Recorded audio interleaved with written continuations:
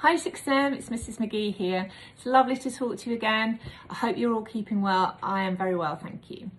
Thank you for all the beautiful work you have sent me this week. Such a good standard once again. I'm so very impressed.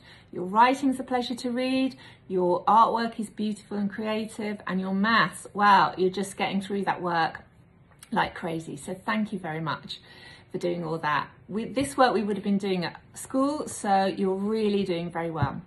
Don't forget to give a thank you to people at home who might be helping you.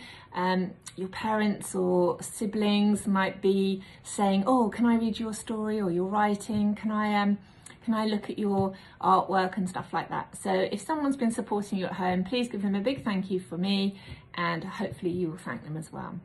Now, I hope you negotiated your home house point system.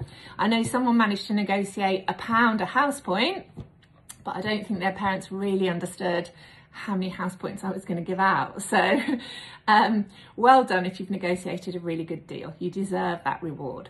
Now, last week, I gave you a juggling challenge. I'm not going to give the prize out this week for that because I haven't had enough entries but I will give you a little juggling tip for those of you that are struggling or haven't even had a go yet. So um, apparently if you do it with little bits of material, it's a lot easier when you start practicing because they take longer to drop and therefore they're easier to catch. So let's put that theory to the test, shall we? Okay, here we go. Whoops, like that. Hmm. well, started off okay. Um, I think I need to do a little bit more practice at both the scarf one and the ball one. Hopefully you are much better than me and I can give out this prize soon.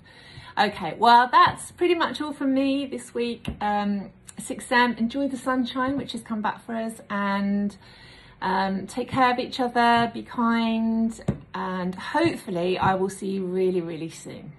All right then, bye for now. Bye.